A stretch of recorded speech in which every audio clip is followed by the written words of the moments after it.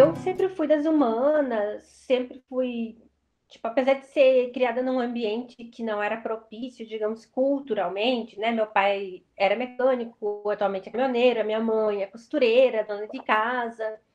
Então, eu não era de uma casa de pessoas com livros, né?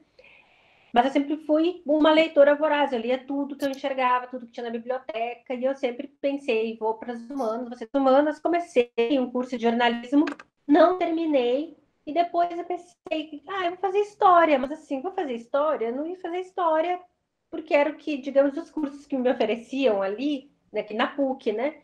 Naquele momento, era o que eu pensei, ah, acho que vou ter afinidade. E no primeiro semestre eu já me apaixonei. E aí eu sempre quis estudar é, a ditadura civil-militar, mas por uma questão assim de... Era muito boataria e eu ficava incomodada, sempre fiquei muito incomodada, sempre fui... Bom, já tenho 40 anos, né? Fazendo 41. E a gente escutava, assim, muita... Aquela botaria de sempre, sabe? Como era bom, como era bom. Eu pensava assim, cara, como pode ser bom um regime assim? E eu era muito militante de esquerda desde os 15 anos, então, assim, teve essa influência da militância aí. E aí eu entrei para o curso de História, pensei, vou estudar ditadura, vou estudar mulheres. A tese de doutorado é importante, é, mas eu acho que o mais importante para mim foi o encontro que eu tive, vamos dizer assim, com o meu objeto de pesquisa. Eu fui fazer um estágio na Secretaria de Turismo do Rio Grande do Sul, e eu trabalhava na fronteira, na aduana, no, no passo fronteiriço. Aqui, hoje eu estou em Uruguaiana, na casa dos meus pais. E eu trabalhava recebendo turistas argentinos no passo transfronteiriço. Então a gente, tipo, na Secretaria de Turismo, a gente fazia, ah, tipo, mapa, explicava o limite de velocidade, essas coisas, mas tinha as conversas. E todas as instituições brasileiras e argentinas, nesse ano, que foi 2005, estavam juntas, conjugadas. Então a gente conversava com gendarmes, conversava com o pessoal da Receita, e tinha dois gendarmes que eles, que são né, da Polícia federal, digamos, argentina, que eles contavam que uma daquelas salinhas tinha sido uma sala de interrogatório. E nisso começou também uma boataria acerca de uma fazenda que seria uma prisão clandestina. E aí eu pensei, eu vou pesquisar isso. E aí eu conheci o trabalho, já, já tinha uma, né? Assim, já tinha ouvido falar, lido alguma coisa, mas na graduação é tudo muito vago. Então, quando eu comecei com isso, quando, quando eu, através dessas fofocas, é, eu comecei a ler sobre os montoneiros, comecei, fui ter acesso a, até a dissertação de mestrado do Nilson Mariano, que foi orientado pelo Helder, aí na PUC, né, que é Montoneiros do Brasil, sequestro, né, dos, na contraofensiva montoneira, a Carol Bauer, o Padrose, enfim. E aí escrevi um TCC, né, e aí a gente entra nas fontes, que eu sou uma pesquisadora de arquivo. Na época, esse, eu escrevi coisas que depois eu escrevi lá no doutorado. Por quê? Porque quando eu escrevi o TCC, eu pesquisei no Arquivo Nacional e os nomes dos arquivos vinham todos tarjados. A gente recebia ainda pelo correio os dossiês do SNI do, tarjados. Então eu pesquisava duas cidadãs, eu sabia que uma era argentina e outra era espanhola, mas eu não sabia o nome delas e que haviam sido sequestradas aqui com a ajuda mútua das polícias. Então o TCC foi um, né, tipo assim, aquele ensaio que a gente faz ali. E aí eu fui para o mestrado, fui para o mestrado na PUC, né, com o Helder. A minha ideia era continuar escrevendo sobre essa fazenda, essa, né, essa prisão clandestina. Não tinha fontes e acabei pesquisando então o processo crime lesa humanidade promovido na Argentina sobre a existência ou não desta fazenda de criação de gado, La Chacra, né, chamada La Polaca. E aí eu fiz um trabalho então mais sobre narrativa, então assim, acareação, defesa, acusação, o que os militares diziam, quem eram os envolvidos do batalhão 601, foquei mais é, na história do processo. Então, assim, a história do processo e a história que o processo contava. E segui faz, pesquisando isso. Aí eu fui para o doutorado para a UNB. Comecei com um projeto que era mais focado, assim, mais teórico, e acabei assistindo uma entrevista no Rio de Janeiro, na UAB, pelo Aloysio Palmar. E ele começou a falar, falar e eu pensei assim, gente, eu tô com tanta. E aí já era 2011, então, assim, de 2006 a 2011, já tinha um outro substrato, um outro acabou de fontes, eu já tinha ido a outros arquivos internacionais, enfim. Aí eu pensei, eu vou escrever o que eu sempre quis escrever, eu vou escrever o que eu não pude escrever, né, no TCC, porque limitação, primeiro, intelectual, né, que a gente acha que o TCC vai ser o furo da vida, mas não depois de fonte, e aí eu fui para o doutorado na UNB, e aí eu já tinha mais fontes, e pensei assim, agora eu tenho um fôlego, e vou escrever sobre isso, e vou escrever sobre a Lapolaca, e vou verificar se foi ou não, se essas pessoas foram sequestradas ou não, quem foi, e escrevi. Fui fazer um sanduíche em Buenos Aires, que aí abriu, assim, muitas coisas já tinham sido abertas em eventos na Argentina, porque eu pesquisava mais Argentina do que Brasil, basicamente, né? Então, de leituras, inclusive de memória e tal, assim, são muito mais desse campo, assim, teórico argentino do que o esperado, por exemplo, em algumas universidades brasileiras. E aí, quando eu fui para o doutorado sanduíche, aí eu consegui uma infinidade de fontes. Então, assim, eu consegui nomes de, de passageiros. Enfim, eu tenho um arquivo que, se eu quiser, eu trabalho anos. Não abandonei, terminei a tese e tal, dei uma segurada porque eu fui trabalhar na comissão de anistia política. E aí eu trabalhei em dois projetos lá na comissão, pela, pelo PNUD. Um sobre Operação Condor, sobre exílios políticos. Isso foi quando eu estava terminando o doutorado. Depois, eu fiz uma outra pesquisa no arquivo lá, que era em 2016, que foi sobre censura às artes, que era um projeto modelo da Comissão de Anistia, e aí vem muito com o papel social do historiador. Eu estou falando isso porque a gente pode atuar, às vezes a gente entra na. A gente pensa que a gente só pode atuar dando aula.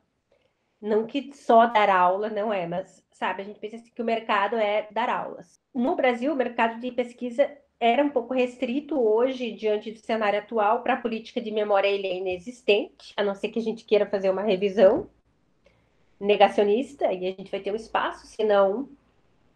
Né? Mas havia um projeto muito bom na Comissão de Anistia Política, que era o projeto do Memorial de Anistia, e dentro dele haveria um arquivo com todos os processos, os requerimentos de anistia política, que são 75 mil.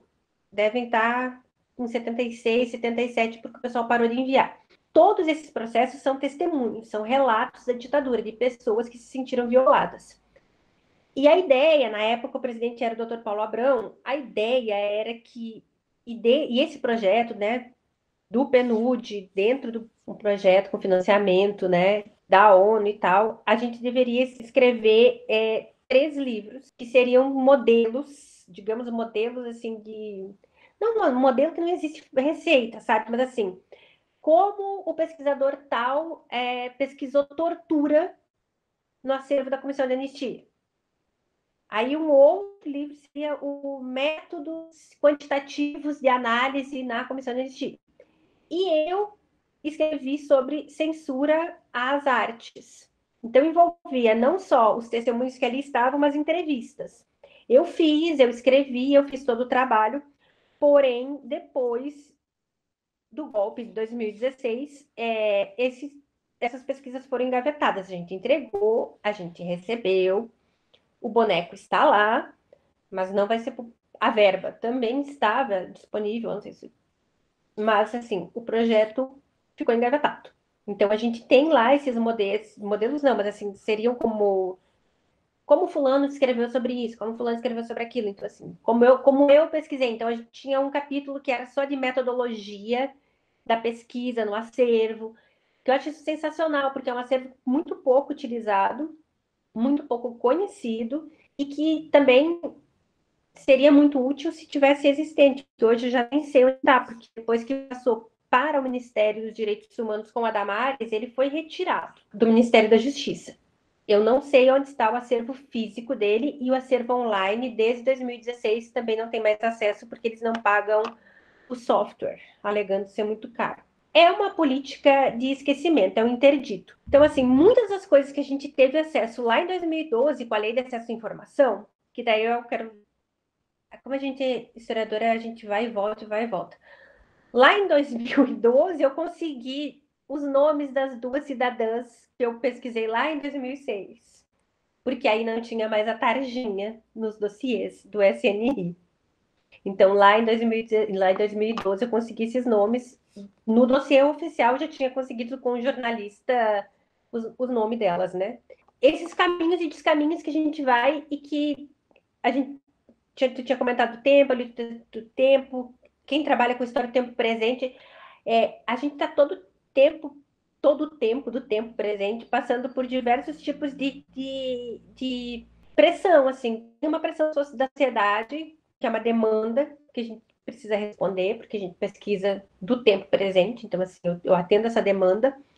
E aí eu tenho um coetâneo que hoje é favorável e amanhã é tudo interditado, que é o que aconteceu no meu pós-doutorado. Todo interdito, interdito, assim, tem uma lei de acesso à informação? Tem. Eu tenho acesso aos documentos? Não. Então, ao mesmo tempo que eu terminava o doutorado, eu, eu escrevi, eu fiz esses trabalhos na comissão e que, para mim, foram essenciais, porque eu acho importantíssimo é, nós, historiadores, ocuparmos papéis e oferecermos produtos é, para que a sociedade possa ter um arcabouço de memória mesmo, de, de memória, de, sabe, da, da, história pública que a gente diz, assim, para que servem os historiadores? Uma frase que me incomoda demais, é, a história vai julgar, a gente não vai julgar nada. A história não julga, se a história julgasse, nós não teríamos um, um governo militarizado. Para começar a conversa, nos falta julgamento, então não nos falta história. Não nos falta história, nos falta justiça. Nos, nos, nos falta uma transição democrática decente, que não foi feita. E essa transição democrática só vai ser feita através de política pública de memória, porque enquanto a gente não tiver uma memória do nosso passado recente, que diga assim, foi ditadura, foi golpe, foi violento, foi corrupto, a gente não vai ter uma mudança de perspectiva para o futuro. Então, assim, porque a gente não, a gente olha para o passado e não e não o vê. Então, continuar perseguindo essas, dando nome a esses desaparecidos, dando nome a essas vítimas, é o que me move enquanto cidadã e enquanto historiadora. É, é um ato não só de pesquisa, mas para mim é um ato político, porque tudo também é política, né? Não politicagem panfletária, mas é um ato político continuar pesquisando, ainda mais em tempos de militarização do governo em todas as esferas. Tive um problema, então, no meu. Aí fui fazer o pós-doutorado, né? O que, que eu vou estudar no pós-doutorado? Fui. É, na, tô na Universidade Federal do Piauí, em História do Brasil. Como eu já tinha uma experiência da Comissão de Anistia, eu pensei, vou pesquisar o que a Comissão de Anistia tem sobre o Piauí. E desde que eu cheguei no Piauí, isso foi em 2000, final de 2016, eu só ouvia assim, mas aqui não teve ditadura. E eu respondia, e o Piauí não é Brasil? Então, assim, é sempre não teve ditadura, não teve ditadura. E eu comecei com uma pesquisa baseada no, na, no acervo da Comissão de Anistia, porque no levantamento de dados são 3.552 processos sobre Piauí. O que aconteceu? Depois que eu tabelei tudo, e já tinha, assim, a, é quando a arquivista do Ministério da Justiça, excelente, servidora pública, ela já tinha me mandado tabelado, deferido, indeferido. Eu só peguei os julgados. Então, assim, deferido, deferido ou indeferido. E agora eu vou ter que, se eu der continuidade, eu vou ter que refazer, refazer uma, um trabalho que tinha sido feito por uma arquivista, porque depois que a Damares assumiu a pasta, ela indeferiu dezenas de, de processos deferidos. Então, toda a minha amostragem, todo o meu trabalho dos deferidos, agora eles são deferidos. Então, assim, todo o trabalho que a comissão teve, o Estado teve durante anos, uma luta da comissão existia de anos, que o papel principal era pedir o, o, Estado pedir perdão a essa vítima, agora é como se o Estado dissesse, ah, tu pedi perdão, mas agora eu retirei o teu perdão. Porque eu nem estou falando das reparações econômicas, estou falando tipo, do perdão estatal que era, que era feito nas caravanas de anistia. Então, eu vou ter que tabelar tudo novamente para saber o que foi deferido o que não foi deferido. Nisso, eu parti para uma outra perspectiva já antes aí, que é pegar o acervo do SNI sobre o POI. E aí chega a resultados assim, por exemplo, todos os trabalhos que eu li, e basicamente todos que escrevem sobre de, que tratam do período ditatorial no Piauí, no Piauí eles, tratam, eles não tratam da ditadura, assim, é tipo ao passando, entende? Tem trabalho que nem cita que era o regime civil-militar. Ninguém, ninguém cita, por exemplo, a participação do governador Alberto Silva. Quais eram as ligações dele com o governo militar? Que eram extremamente fortes, laços estreitos. Então, ele é tido como grande desenvolvimentista do Piauí, mas assim, esse desenvolvimento é um desenvolvimento autoritário. Em nenhum trabalho eu leio, sabe, assim, desenvolvimento autoritário. Aí em algum outro eu ouço assim, DOPS. E eu perguntava, e o DOPS Piauí? Ah, não, o DOPS Piauí. Então, lá no acervo da, CNI, eu consegui identificar onde fico, que é um artigo que eu estou terminando de escrever. Escrever que é o quê? Aonde foi o DOPS Piauí? Quem foram os agentes do DOPS Piauí? Então, assim, além da oralidade, tem documentação para a gente desvendar também essa ditadura do norte, do nordeste. Estou em contato com o um grupo da Federal do Amapá também, porque é como se houvesse no Brasil a gente tem aquela ideia que só houvesse só houve ditadura no Rio de Janeiro e São Paulo, alguma coisa em Minas. A Comissão Nacional da Verdade no relatório já deixa assim que quantitativamente, que para mim não importa, né?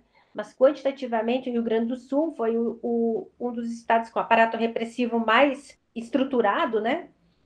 Em especial pelas fronteiras, com maior número de, de, de, prisões clandestinas e centros de detenções, mas não quer dizer que lá no Amazonas não, não tinha repressão, que, que toda a sociedade não é vítima. E aí a gente entra também nesse conceito de vítima, né? É, é como pensar agora é, sei lá, você pode não ter tido Covid, pode não ter perdido nenhum, nenhum ente querido para Covid, mas você é uma vítima da Covid. Você foi, foi tirada a tua liberdade de uma certa maneira, você foi tolhida de, de oportunidades de trabalho, de, enfim, de inúmeras coisas. Então, assim, assim como na ditadura, todos nós estamos sendo vítimas. Então, há vítimas, para a gente parar de pensar assim, não houve ditadura. Então, a gente vai pensar, porque senão lá no futuro as pessoas vão dizer o quê? Que o estado que teve menos casos de Covid não houve Covid? Então, assim, por que não, por que não, não se é, o que não é dito, né? Cabe a nós dizer. São as vítimas. A vítima é só, sei lá, é só quem perdeu um familiar, todos somos vítimas, porque, em, em especial no Brasil, a gente teve 20, 21 anos de ditadura, é muita coisa. É muita coisa no sentido. A gente viu que, o que é capaz de fazer um governo em dois anos e meio.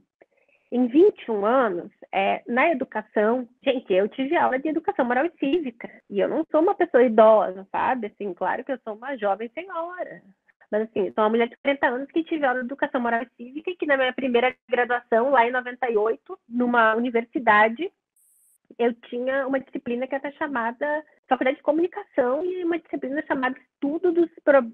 Estudo dos Problemas Sociais Brasileiros mas que a gente não estudava problema social brasileiro nenhum, assim, o problema social brasileiro era o MST, por exemplo, era esse um dos problemas brasileiros, não era o latifúndio, sabe, era, era a reforma agrária, o pedido por reforma agrária, e aí, claro que a gente, eu estava numa região de latifúndio, mas assim, quem são as vítimas?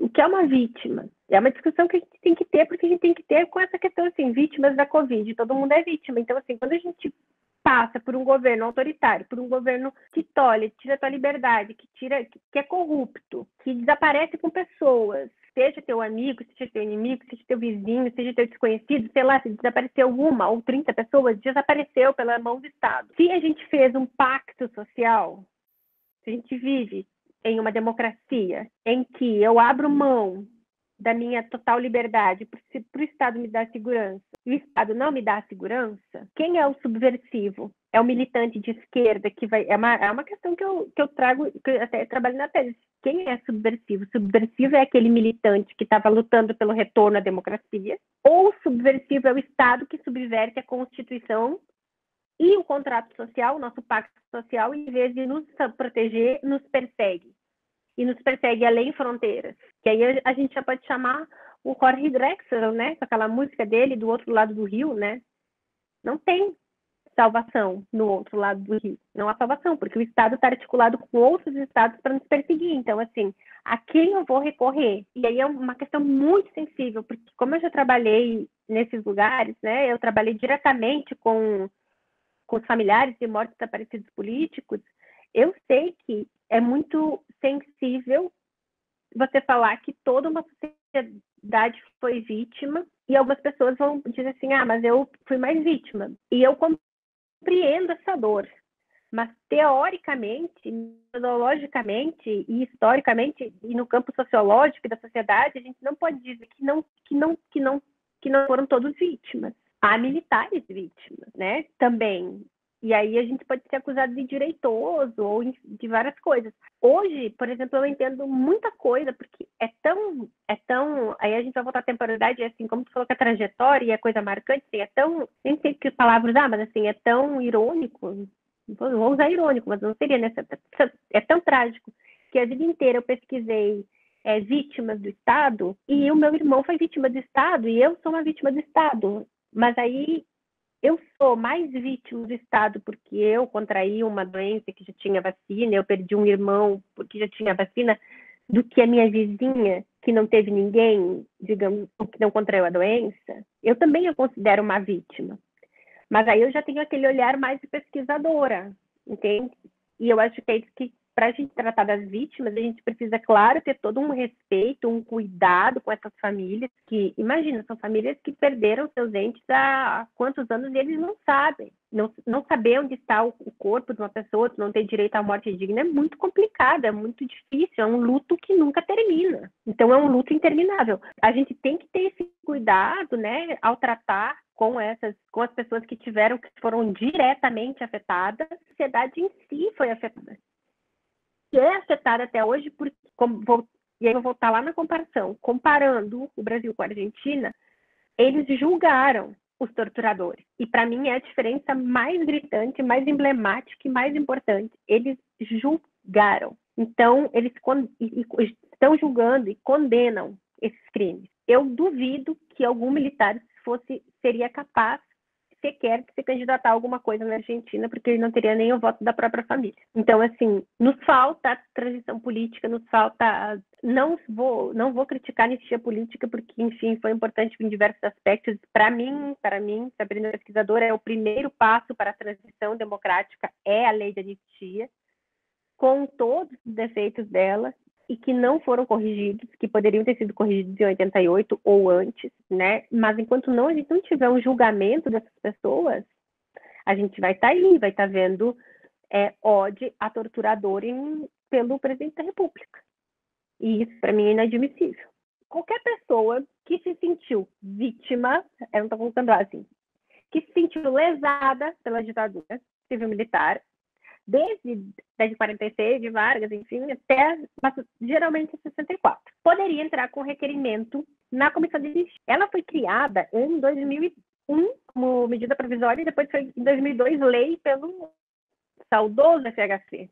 Digo isso com certo mas foi ela foi mas, é uma, mas ela vinha lá dos planos nacionais de direitos humanos e vinha da Constituição de 88, então assim, está todo dentro dessa seara. O que acontecia? Você foi expurgo, foi expurgado da universidade e você entrava com processo no MEC, pedindo a tua ou tipo tempo de serviço ou que você voltasse para a universidade. Isso assim, um exemplo do MEC. Assim, houve casos, tipo Banco do Brasil, Marinha, Aeronáutica, Petrobras, Volkswagen, assim, pessoas que foram demitidas, então, assim. Em vários ministérios haviam pedidos de pessoas que se sentiam lesadas de alguma forma pela, pela ditadura. Tudo isso foi compilado na comissão de anistia. E aí foi aberto ao público, digamos assim, ao público não que já era, né? Mas assim, foi difundido, houve uma ampliação é quando o Tarso Genro assume o Ministério da Justiça e coloca o Dr. Paulo Abrão como presidente da comissão. E aí o Paulo dá um salto assim que é inegável. O trabalho do Paulo Abrão, eu acho que é um dos trabalhos mais assim sensacionais em gestão de memória nesse país. É um cara que eu respeito demais e não é à toa que ele saiu, digamos, foi saído do secretário executivo da Corte Interamericana de Direitos Humanos porque ele faz um trabalho sério investigativo. O Paulo, quando, na gestão do Dr. Paulo, ele começou a difundir isso, difundir isso. Então, outras pessoas que se sentiam, de, de alguma maneira, lesadas, elas não iam mais ao Ministério, ou, sabe, Ministério do Trabalho, ou Ministério. Elas iam à Comissão de Anistia.